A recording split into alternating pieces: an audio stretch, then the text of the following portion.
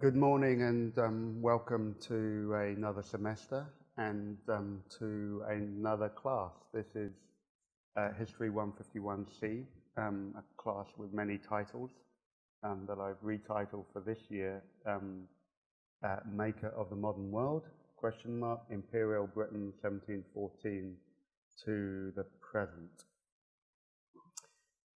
Today I'm going to spend this class telling you really what the course is about and introducing myself and the other um, uh, instructors on the class and explaining how um, the uh, class will work in terms of the readings and the assignments and the structure of the lectures and so forth.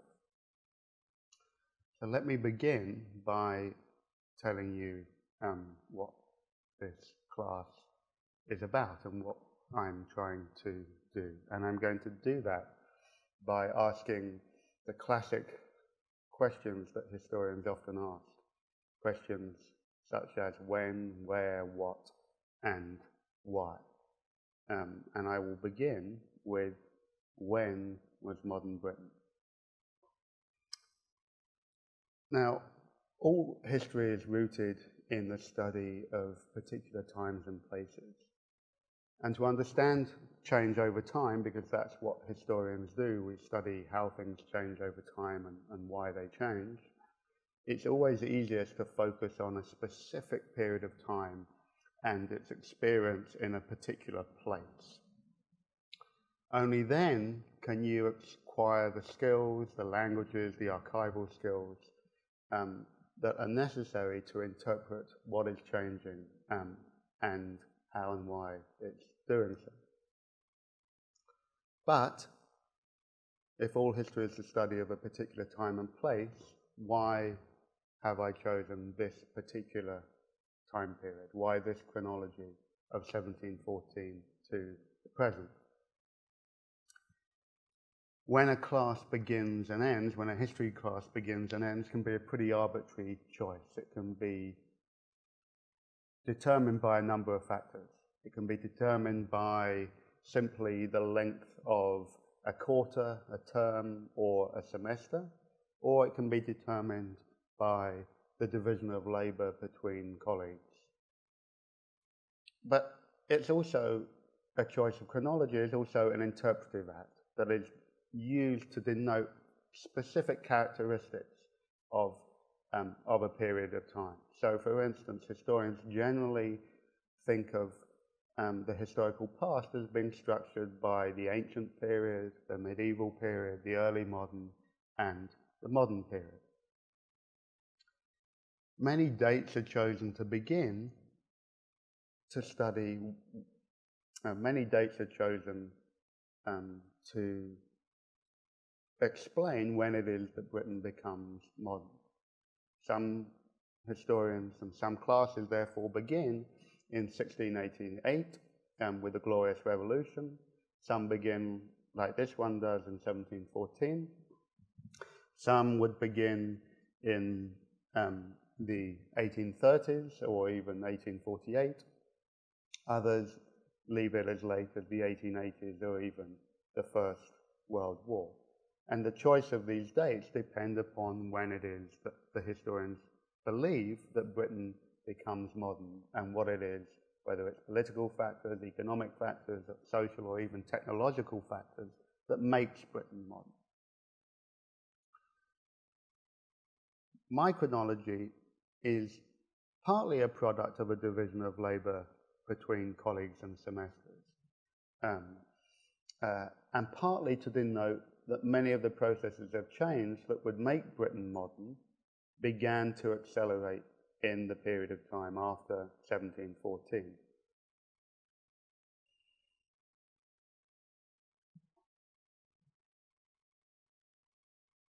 Some choose 1688 and the creation of a new Protestant and constitutional monarchy under the authority of Parliament. Um, but my point of departure is 1714. This is the decisive end of the of the, the moment of the decisive end of the idea of a monarch's divine right of succession.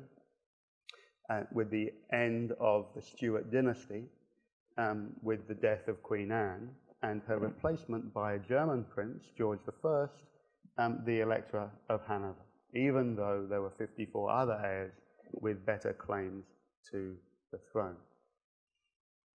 In fact, questions of succession rumble on um, throughout the 18th century and are seen most clearly with the Jacobite rebellions trying to reinstall the Stuart monarchy. But while I look back to 1688, most of the class focuses on the period after 1750, as I believe it's this period that the big economic, political, and social and cultural changes begin to accelerate and create a new type of modern condition in Britain. So if that's why I've chosen 1714, why does it end with the present? Again, many classes end at different, different moments.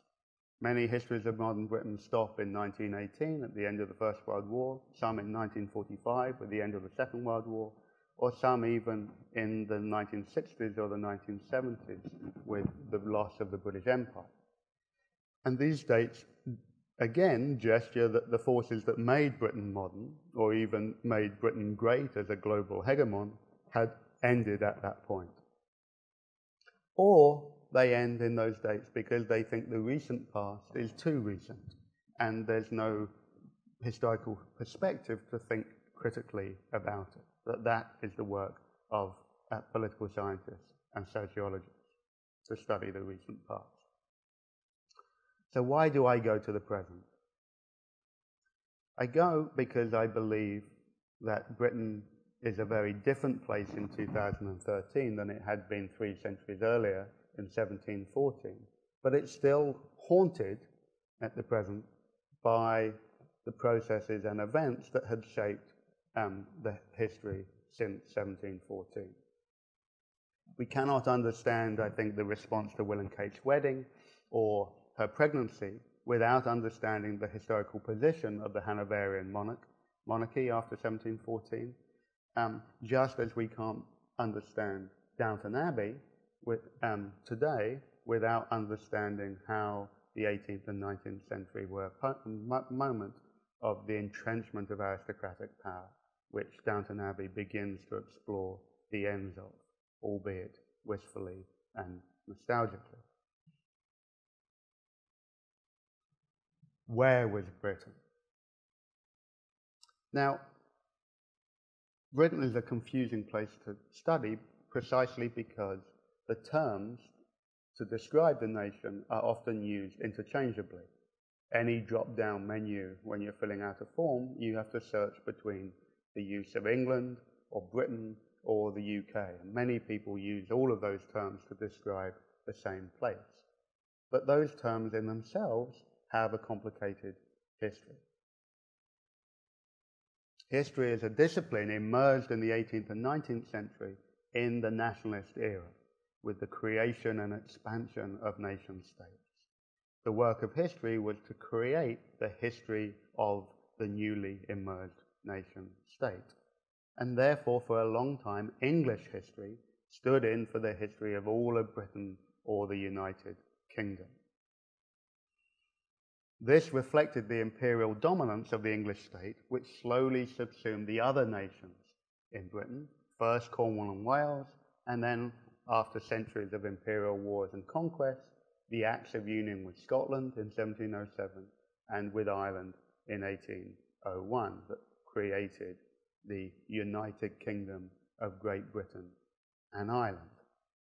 So we must think of this United Kingdom as an amalgam of these different places. England, that you see here, marked out with a flag of St. George, Scotland up here, um, Wales um, here, Cornwall, if we include Cornwall as the fifth nation of the, of, of the United Kingdom, is this part here, and then, of course, Ireland here, which in 1922 was divided between the Irish Free State in the south and, the, um, and Northern Ireland which remains part of Great Britain to this day. Now, the United Kingdom was, of course, never truly a united kingdom. Um, how could it be when it was largely the consequence of the imperial expansion of the English state? And so we have continual strains in this, um, uh, uh, in this nation. You see this most dramatically, of course, with the Irish Republican movement in the 19th century that culminates with the creation of the Irish Free State in 1922 and eventually the Republic of Ireland. Um, you see that in the continuing um, uh, uh, struggles in Northern Ireland and the paramilitary civil war there during the 1970s and 80s.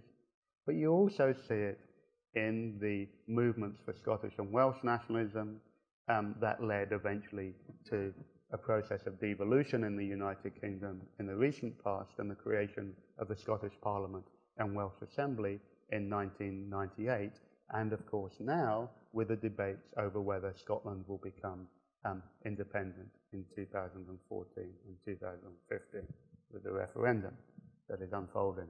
Um,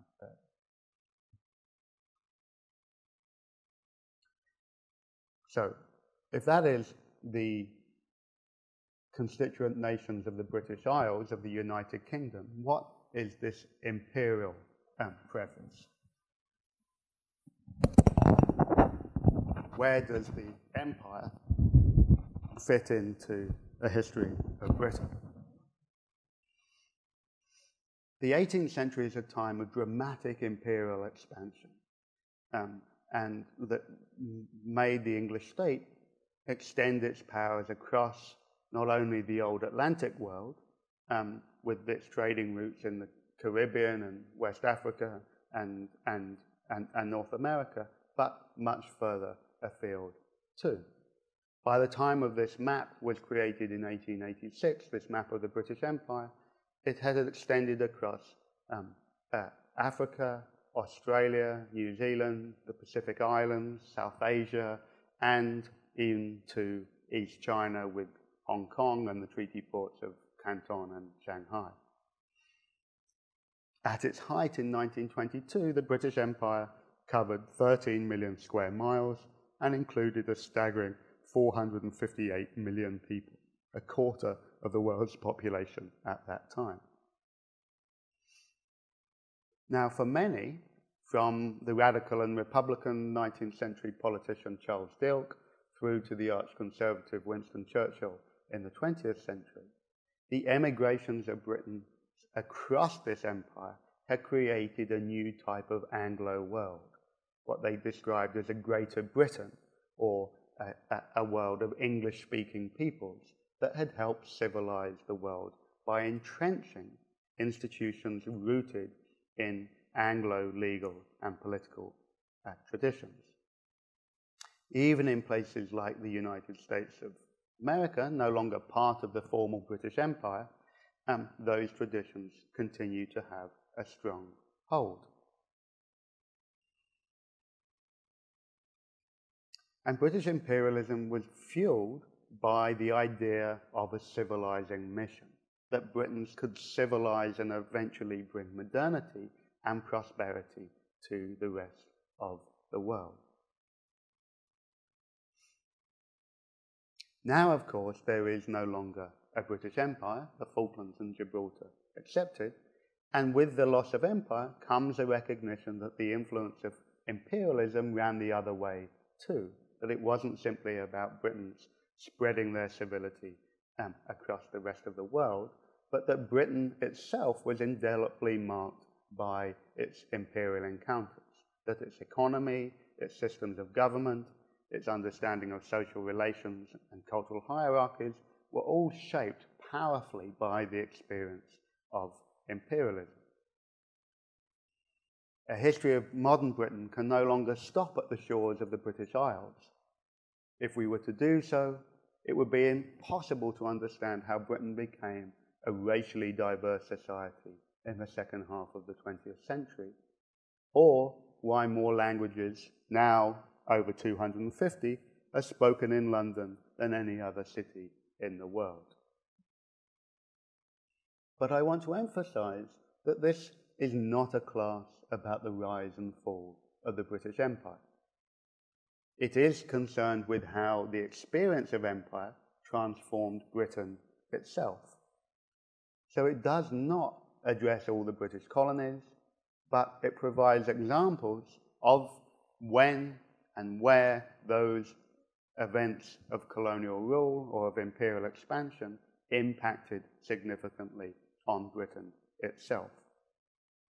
Other colleagues in my department teach histories of different areas of Britain's colonial conquest, whether it's early American history, um, South or Southeast Asian history, African history, Middle Eastern history, and so forth.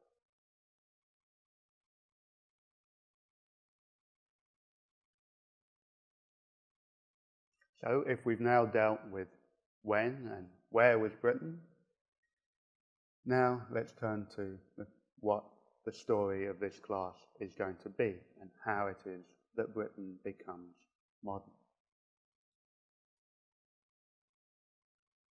Now, it wasn't just British imperialists, or indeed historians of Britain, who claimed that Britain became what the first country to become modern.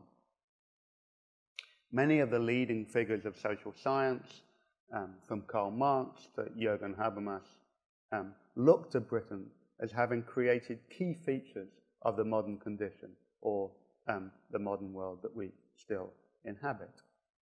They pointed to trends as diverse as the idea of the individual, um, sustained population growth, the form of the nuclear family, um, as well as to the emergence of capitalism and um, the Industrial Revolution, to the scientific revolution at the end of the 17th century and the idea of man's progressive mastery over nature to the development of a new type of enlightened, secular, pluralist civil society, to the formation of a representative political system and a new type of bureaucratic state, to the process of urbanization and the structuring of society into distinct um, classes, and of course, the creation of a new type of overseas empire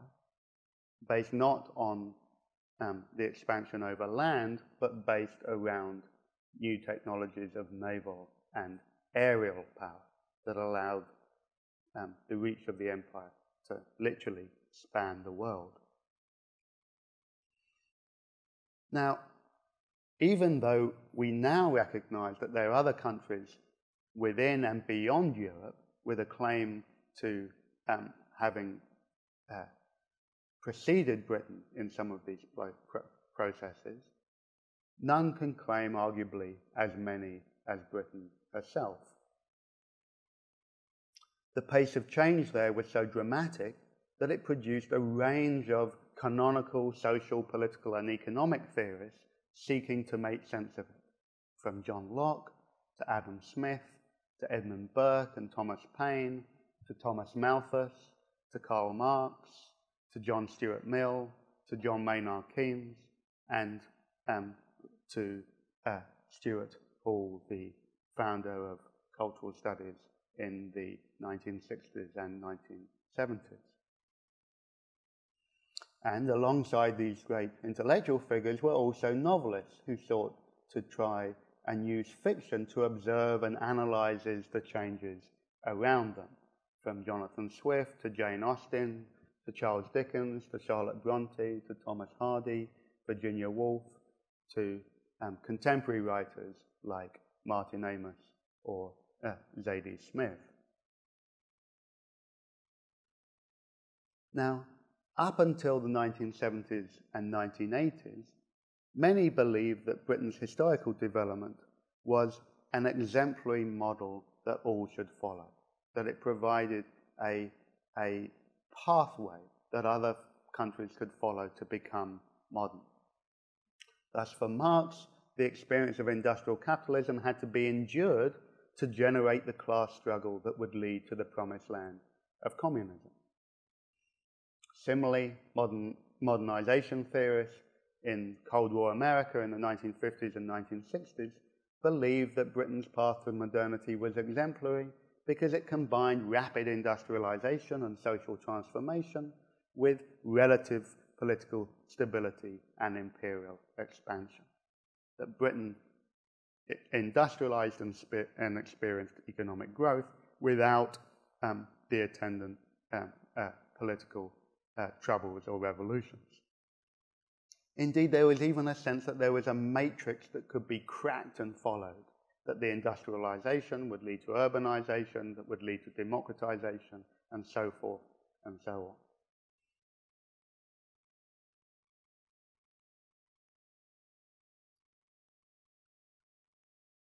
Since the 1970s, this view has been largely discredited, although it still lingers in uh, particular places and among some historians.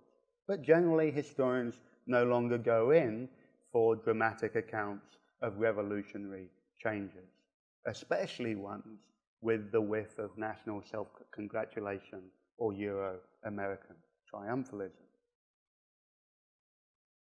Post colonial critics since the 1970s have insisted that modernity can not take, doesn't only take a Western form, that the rest had not, were not a failed realization of the West, um, and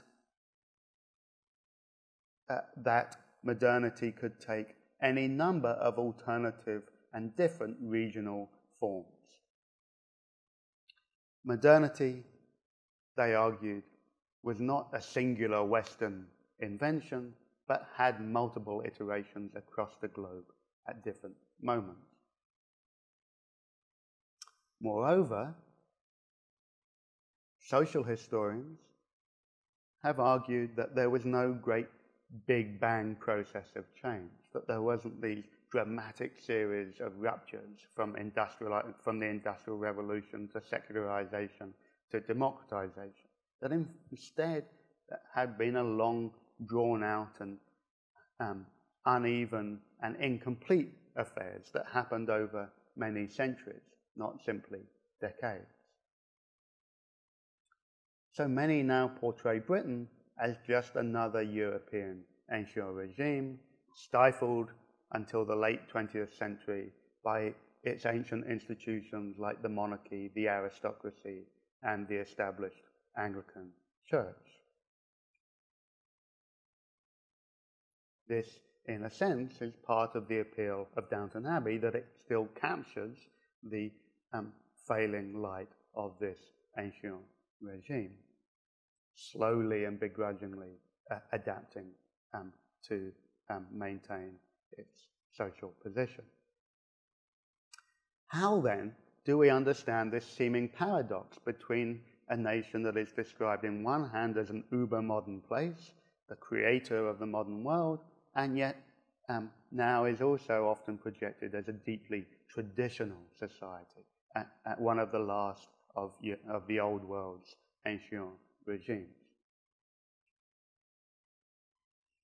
I'm going to try and explain this paradox in this class by talking about what I describe as the rise, fall, and reinvention of liberalism. Now, what do I mean by liberalism? For us in Berkeley today, to be liberal is to think of oneself as open minded as well as to be socially and political, politically progressive. The liberalism that slowly emerged in the 18th and 19th century Britain was, I'm going to try and get clear to you, was a very distant cousin. Indeed, it took shape as a critique of Britain's economic and political structures which it portrayed as characteristic of a backward looking aristocratic ancient regime. But this liberalism was not the preserve of any one party or political movement, and in the 18th century was not even a coherent ideology. But it did slowly during the course of the 19th century become to be characterized by certain key beliefs. The idea of free trade and the free market, the idea of representative government and the rule of law, of individual self improvement, and of a meritocratic social system that would bring prosperity and civilization to all who deserved it. Not to all, but to all who deserved it. Now, while liberalism reformed much of the ancient regime during the 19th century, it failed to deliver wealth and civilization to all at home, let alone to um, uh, its many subjects across the British Empire, and it failed to keep Britain abreast with its new global competitors um, in the Americas and in Europe, as well as in East Asia. Although this laid the foundation for the growth of Britain's welfare state in the 20th century, the emergence of something called social democracy, that social democracy emerged embedded in the re remnants of the ancient regime, liberalism, and the empire.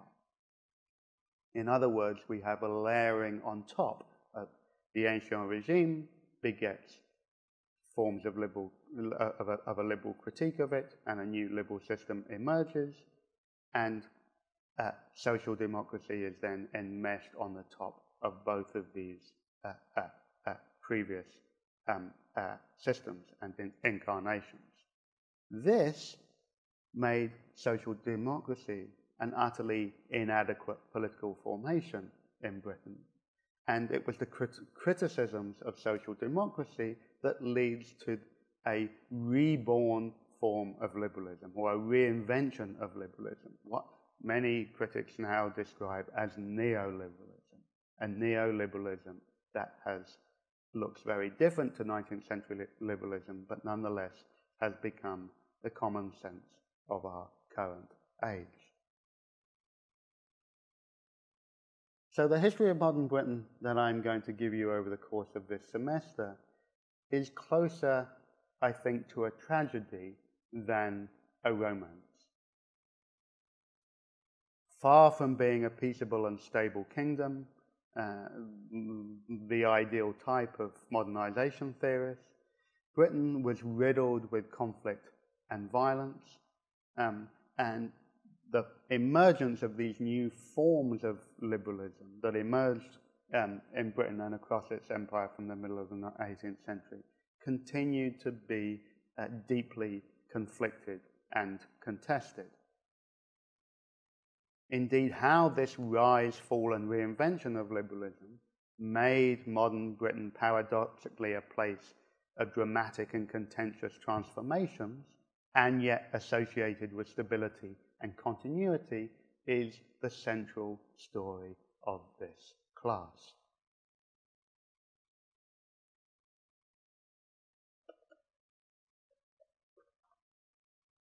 Now, don't panic.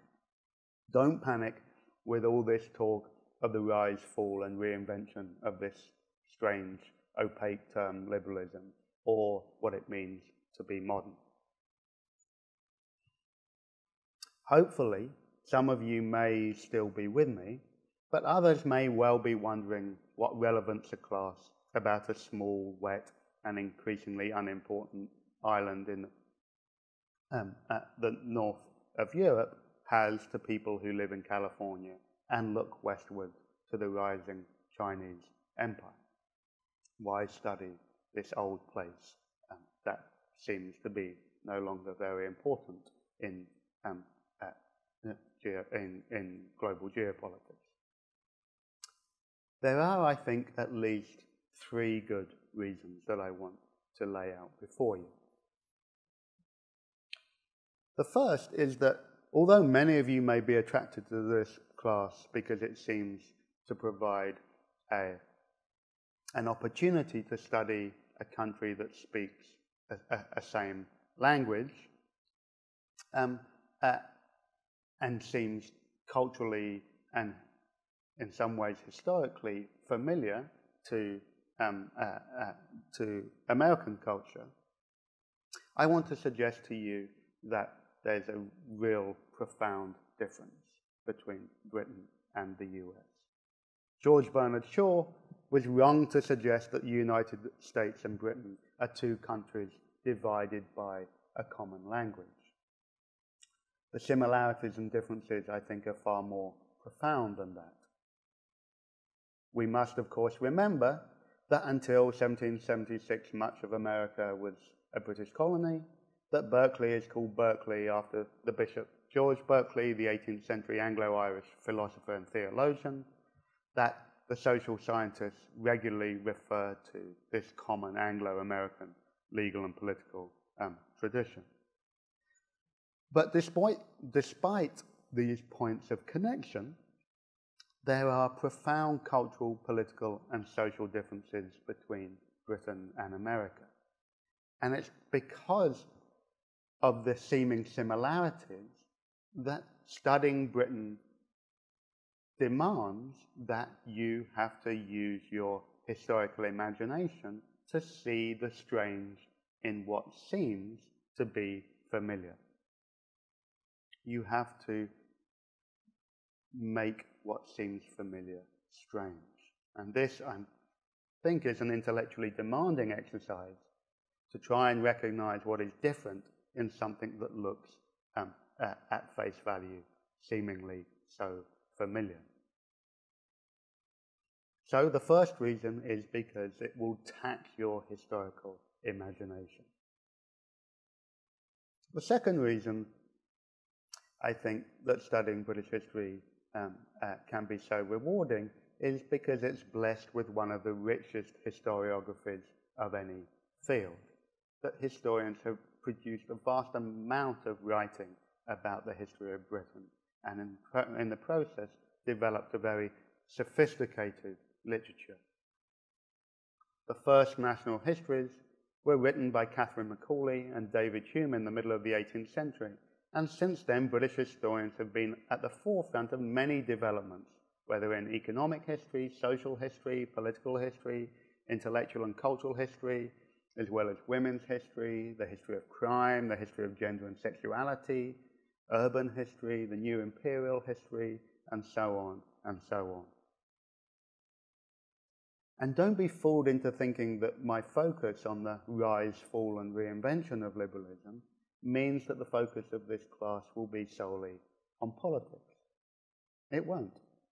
There will be very little of the giants of political history, no arguments about who was the best prime minister, um, uh, which was the most important piece of legislation passed by a government, etc., um, etc. Et Instead, in the way in which I will talk to you about the rise and uh, uh, uh, fall and reinvention of liberalism extends far beyond the formal world of politics. It looks instead at how liberalism gradually came to structure the experience of everyday life, um, not just to the organization of the economy, but to the most intimate uh, recesses of um, everyday life. It shaped how people thought of themselves as individuals, their respective gender roles as men or women, the nature of family life, their sexual relationships. And liberalism didn't just restructure British society, economy, and politics, it also created a new type of person and inhabited their soul. So, this is a class that will draw on this very rich historiography to explore everything from the birth of the factory and new forms of industrial production through to the use of personal deodorants. And this would not be possible without this immensely rich historiographical enterprise that has been the study of Britain by historians over three centuries.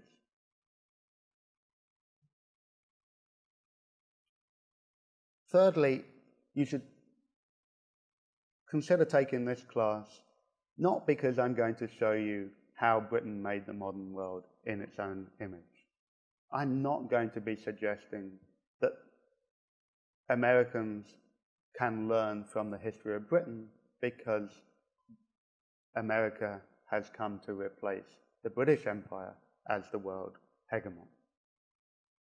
Or neither am I going to be suggesting that Americans can learn from the British Empire um, uh, the experience of the decline of that British Empire, what it's like to be to live with being displaced as the world's um, superpower. It will instead, I hope, encourage you to think critically about key historical processes like industrialization and urbanization that seem to have become general across much of the world, but took very specific forms in Britain um, itself. It will also, I hope, encourage you to recognize the contingency and the historical frailty of many of the institutions um, that form our present. Things often in Britain that look archaic are of very recent um, uh, uh, uh, invention. And finally, I hope it will challenge you to think about what explains the profound historical changes that Britain has witnessed over the past three centuries. And in that sense, I think the study of history generally should be thought about not just about learning from what happened in the past, but about explaining how it happened in order to imagine a better possible futures. The study of history is therefore not simply rooted in the past, it's also um, fundamentally an argument about how we make history in the present.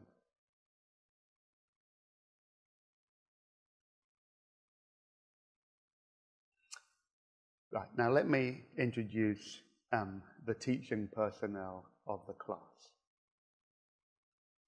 Um, my name is um, James Vernon. You can tell from my funny accent that I'm, that I'm British. Um, I was born and raised um, uh, in um, uh, near Cambridge, um, uh, e sort of north east of, of, of, of London and I taught um, at the University of Manchester for um, many years before moving to, to Berkeley in 2000, and I'm now a proud um, American uh, citizen.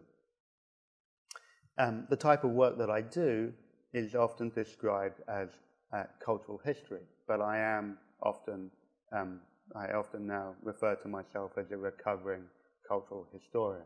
That means that I'm not simply a historian of, of high culture or even of, of popular culture, but of the cultural frameworks through which people understood and organize the world around them.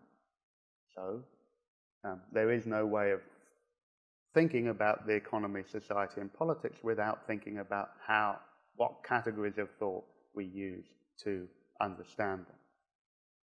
I've written two books that might um, uh, uh, exemplify that. My first um, was a study of the creation of new democratic systems in 19th century Britain and the changing conception of what politics is and how it should be conducted. Um, and I wrote another book about uh, how our understanding of hunger has changed over time how this basic biological thing that we think of as having no history because we know biologically what hunger is, but in fact, hunger has come comes with a whole set of cultural assumptions that change over time and a whole set of different standards for thinking about it, from starvation on one hand all the way to malnutrition, malnutrition on the others. So how we view hunger and how we view the hungry and what we do for them changes very dramatically from the late 18th through to the late 20th century. So, I'm a historian interested in social and political and economic changes, but interested in the ways in which those changes are understood and experienced by contemporaries. My office hours, you can see um, uh, on Tuesdays, 3.30 to 5.30 in Dwinelle, 2214, and my email is up here. And I um, urge you, actually, less to send me emails than to come and talk to me in my office hours and explain the things that um, I'm not making clear to you in these classes or just come and tell me about the things that you're interested in generally. We are very blessed on this course to have two um, uh, very talented uh, graduate student instructors in Gillian uh, Chisholm and uh, Melissa Churoff. And you can see the sections that Gillian and Melissa are teaching um, uh, behind me and the um, time of their office hours. Um, Gillian is a historian of, of early modern Britain. Um, she's interested in the uh, history of religion, and she's interested in marginal, the, the sort of margins of theological thought. Um, so, for instance, at the moment, uh, she is writing a paper on witches' familiars. She's interested in questions of whether animals have souls and how these um, uh, these questions that seem, as I say, on the margins of theology actually help shape a religious um, culture and the practice of uh, uh, uh, uh of um, and the practice of religion.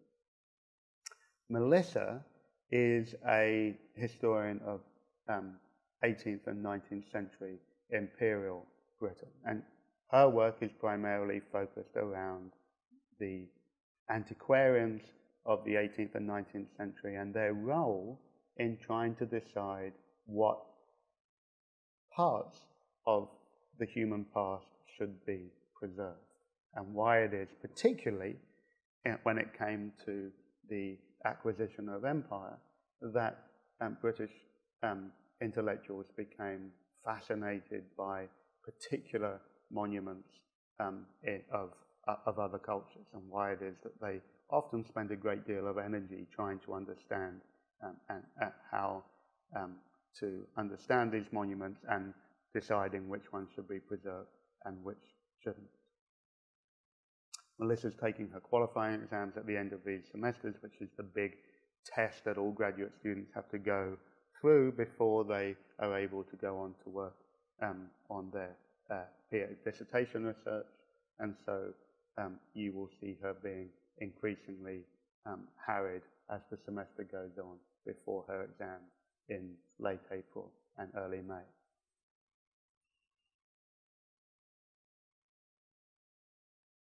Let me finish up by saying um, some remarks about how the class is going to be organized.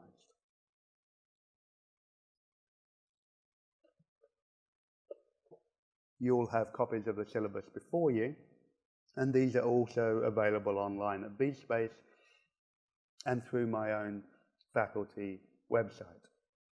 And it's probably there that my, at my own um, website that it's easiest to use for readings, uh, for reasons that will become apparent in a, a moment.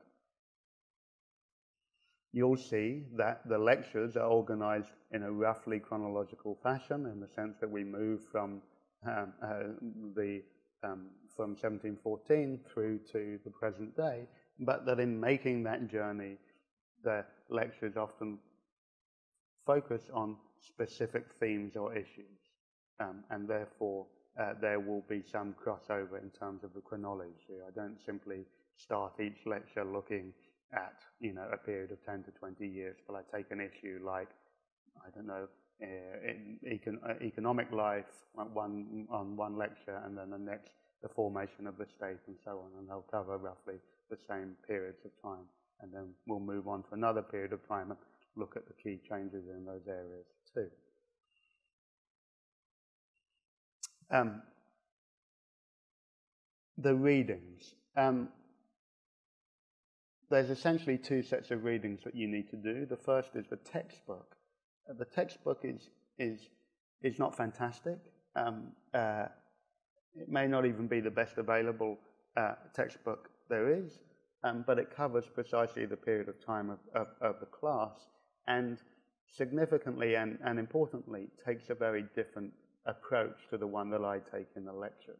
And this, I hope, will enable you to question some of the things that I say in class and to see that, the, uh, as with all the study of history, that history is about trying to find, um, uh, um, trying to um, discern between different interpretive um, uh, positions.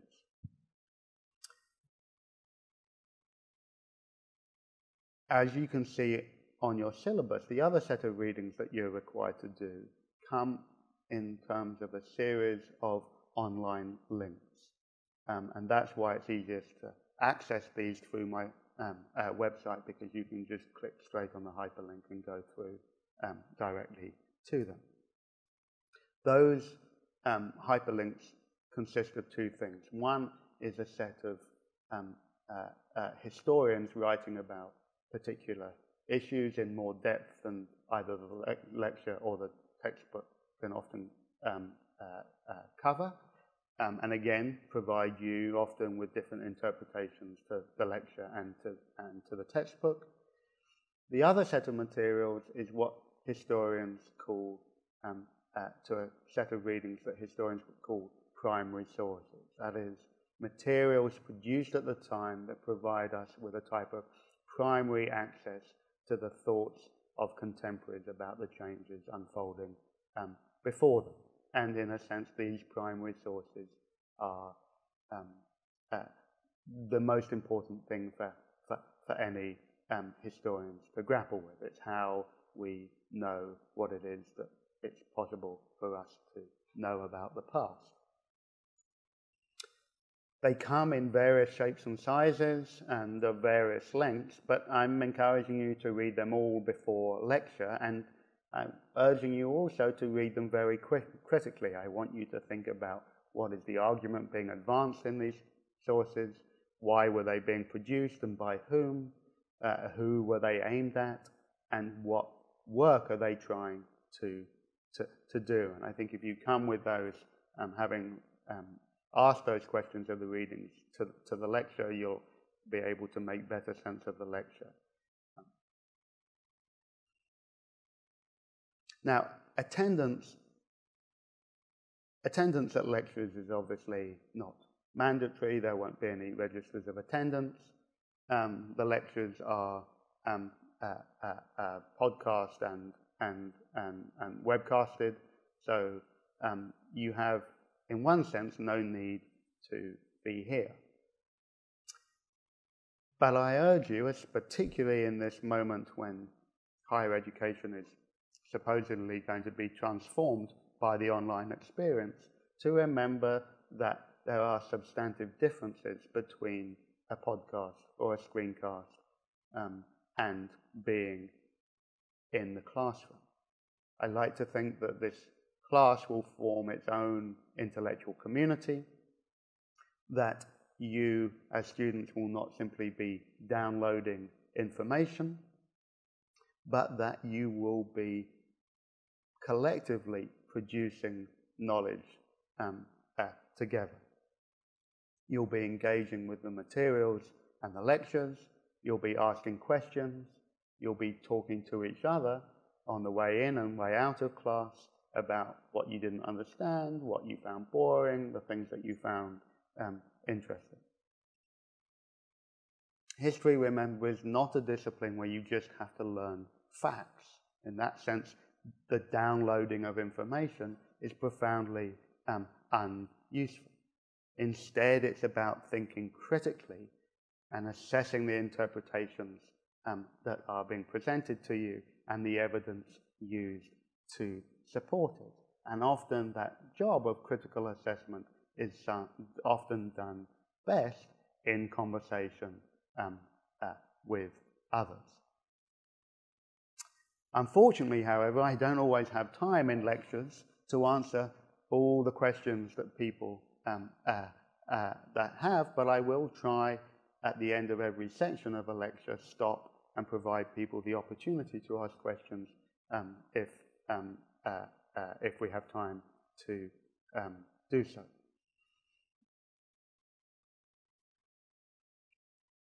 The lectures, a couple of things I should say about the lectures. Um, I have a habit of coming in and playing you music when you're all coming in and settling in before um, uh, 10 past the hour. And I encourage you all to send me requests and suggestions on the chat room in, in, uh, in BSpace. Um, while uh, that music is playing, you'll often see an outline of the lecture um, uh, that I will um, give um, uh, uh, that, that day. So you can immediately get a sense of um, uh, what is coming up and organize your um, notes accordingly.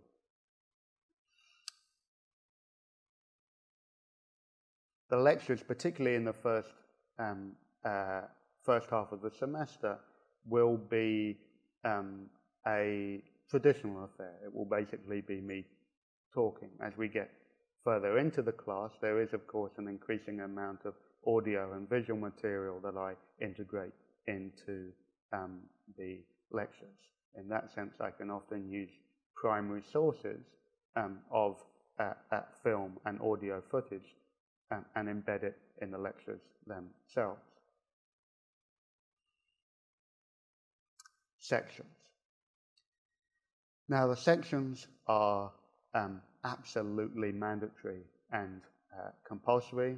Um, uh, strong participation in sections always means that you get a higher grade on the class. Those sections last for an hour um, and they will be primarily aimed at helping you to make sense of the lectures and the readings. Um, uh, they will provide occasions for you to talk about the themes that have come up in those lectures and those readings and explore them in greater depth and to clarify issues that you may have.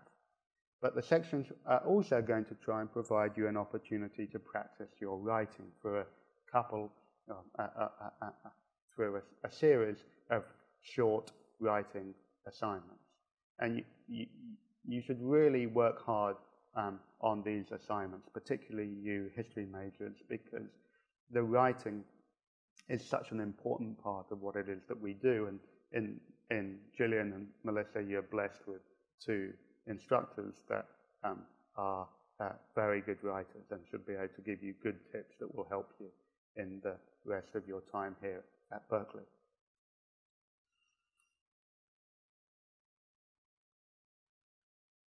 Assessment. Basically, the division of the um, assessment is, is pretty simple. 30% um, of your grade comes from section assignments and participation. 30% comes from a midterm exam, um, which I will give you a prep sheet for um, uh, 10 days in advance. And then 40% will come either from a final exam, which you'll also have a prep sheet for, or um, by a 10 page um, research paper. I like to give you the option of those of you who hate exams or are less um, adept at taking them to write an alternative research paper. And I found that this is a good way in which people can explore a particular um, subject in greater depth than we're able to cover uh, in class and it's also fantastic preparation for history majors to begin to develop an idea for their undergraduate um, uh, thesis. I've had many students in this class begin working on a topic um, uh, uh, uh for a research paper in this class and then go on and write um, a, a 101 thesis on it um, a year or two later. Now, if you're going to take the research paper option, you have to declare your interest in doing so by the midterm. Um, you must come and talk to me in my office hours um, and, uh, and to uh, uh, Gillian and to uh, Melissa, and we'll collectively give you advice on topics and on sources and what's feasible and what is, what is, what is not, not. If you stick with the research paper, we will also give you a series of different assignments in the second half of the semester that will help you um, produce it more easily, to stagger the work over the second half of the semester. Finally, a word on etiquette, because no British history class would be complete uh, without such a comment. I'm generally a tolerant and, and kind um, uh, human being, but uh, there are exceptions. Um, I uh, believe it's important for people to be punctual, um, to arrive um, on class on time, even though I know that this is a distant um, uh, classroom. And I understand that you often have long um, journeys to get here from one end of the campus to the other, but please make every effort to get here by 10 past because that is when the lectures will begin. Um, I despise cell phones. I'm, I think, the last living human being who does not possess a cell phone, and I despise them even more when they happen to ring um, in lecture or when I see people um, uh, texting or twittering or whatever it else it is that people do on, on cell phones in, in class. I'm fine with people having computers, um, but again, I urge you to use them for the purposes uh, that uh, will be helpful for you in this class. That is not um, posting um, updates um, to your social media sites or um, watching YouTube um, clips.